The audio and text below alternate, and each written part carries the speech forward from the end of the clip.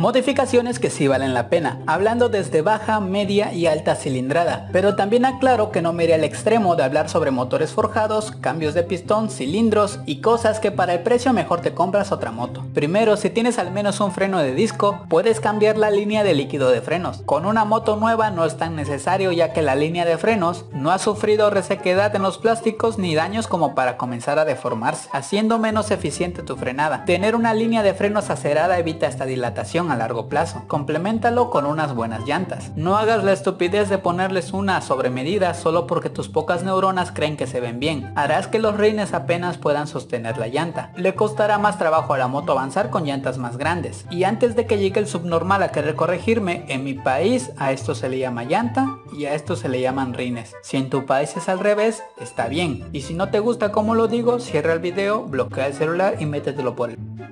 Bueno, ahora que cambiaste las líneas de freno y traes buenas llantas, tal vez te hayas dado cuenta que frenas con menor distancia. Si de plano no sabes frenar, no importa las llantas que tengas, vales caca de todos modos. Pero algo que te puede ayudar para al menos ver en dónde te caíste es una buena iluminación, por lo que si tienes iluminación halógena hacer el cambio LED sería genial. Pero no compres focos de este tipo, ya que no proyectan bien la luz. Necesitas unos LED que alumbren con la misma distribución de tu foco de halógeno. Tu foco halógeno tiene esta distribución uno arriba, uno abajo, para altas y para bajas. Su forma de alumbrar se basa en proyectar la luz hacia los costados y tienes que buscar un foco LED con esta misma distribución. Te dejo este video en donde enseño cómo cambiar el foco de una moto. Desde el frente te darás cuenta que tiene una distribución correcta ya que los LED se reflejan dentro del faro. Es recomendable que inviertas en LEDs con encapsulados CSP. Alumbran bien y no son tan costosos. Nunca, y lo digo en serio, nunca le pongas a tu moto un foco con mayor wattaje. Y si ya sé que no entendiste te voy a explicar. Los watts son la cantidad de potencia que el foco requiere para dar luz. El fabricante del foco que vayas a comprar siempre lo va a especificar. El valor del wattaje se determina como el voltaje por el amperaje. Entonces, una moto promedio trabaja con 12 volts. Y digamos que por ejemplo 3 amperes. Multiplicamos voltaje por amperaje y nos da 36 watts. El foco de halógeno que trae de serie trabaja con 35 watts. Los focos LED trabajan con 30 watts. Eso quiere decir que tenemos incluso un margen de consumo adecuado para no estresar la batería. ¿Qué pasa si tú vas al AutoZone, ves un foco de 60 watts para coche y tu pequeño cerebro asume que es una buena idea comprarlo? En el mejor de los casos, se te queman los fusibles y se te muere la batería. En el peor de los casos, pasa esto. La tensión eléctrica quemará la moto por completo. Aunque sé que eres un espíritu libre y nadie te dice qué hacer. Mejor si pone un foco para auto que es entretenido ver videos de motos quemándose. Otra modificación que vale la pena sin importar el tipo de moto son los sliders. Hay diferencia entre sliders y crash bar, que suelen dar más protección ya que tienen mayor cobertura en los plásticos de la moto, pero suelen ser más costosos. Siempre usa los que se hayan hecho en específico para el modelo de tu moto. No porque te guste un modelo en especial significa que será útil para ti. Tienes que tener un margen suficiente para que en un impacto lo que golpee y se raspe sea el slider y no los plásticos de tu moto. Sobre esto no hay mucha explicación, solo busca lo que esté de acuerdo tus necesidades. Lo siguiente como tal no son modificaciones pero sí son cosas que te pueden servir. Primero, utilizar este líquido antiponchaduras no creo que sea necesario explicar para qué sirve. Si tienes una moto de media o alta cilindrada, te vendría bien un filtro de alto flujo. De los originales no compres las réplicas basura. Esto te dará mejores resultados en velocidad final y aceleración en caso de que hagas una reprogramación a la moto. Por cierto, aclarando una cosa sobre los escapes. Cambiar el escape por sí solo en una moto de media o alta cilindrada, como tal no hace un cambio en la potencia o en el comportamiento de la moto. Hacer el full system su principal cambio es aligerar el peso de la moto, dependiendo de los materiales que vayas a utilizar. Por lo general se utiliza titanio.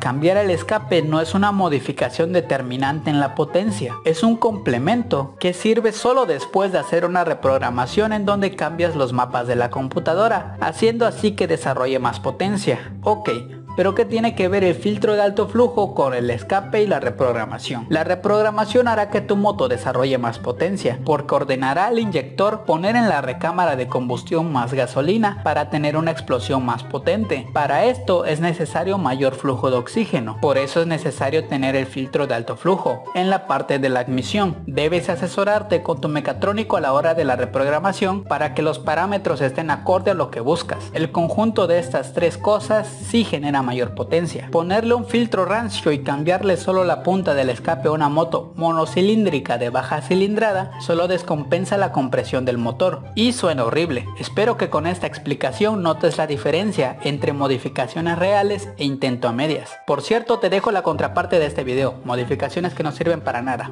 Bye.